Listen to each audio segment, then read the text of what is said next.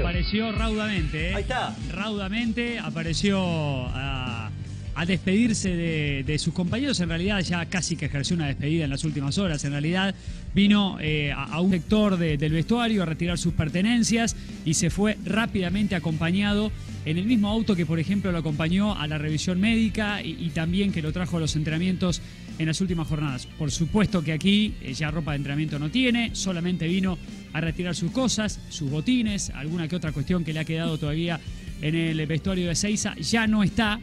Me dicen que estuvo un, un rato eh, con, con sus ex compañeros, un tiempo también eh, charlando con algunos, pero realmente fue una pasada muy rápida, eh, muy Gallardo? rauda aquí de- del Ahí premio lo de estamos Seiza. viendo al muñeco. Ah, yo- Eh, yo creo que- está- yo creo que con Gallardo algo ya está hablando, algo está Se discutiendo, dijo pero todo lo que se tenía que decir. Pero digo, Sí. imposible que pase otra cosa por su cabeza, ¿no? No, claro. Especialmente cuando el fin de semana no hay ningún partido oficial, aunque sea un superclásico.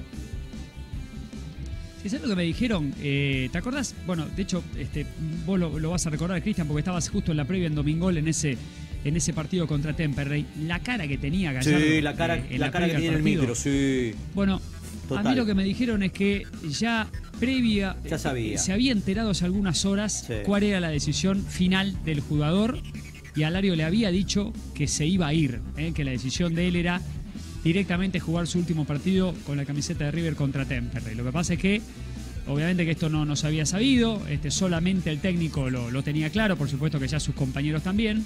Pero bueno, imagínense en el marco de este, tantas particularidades que se dio el encuentro del fin de semana.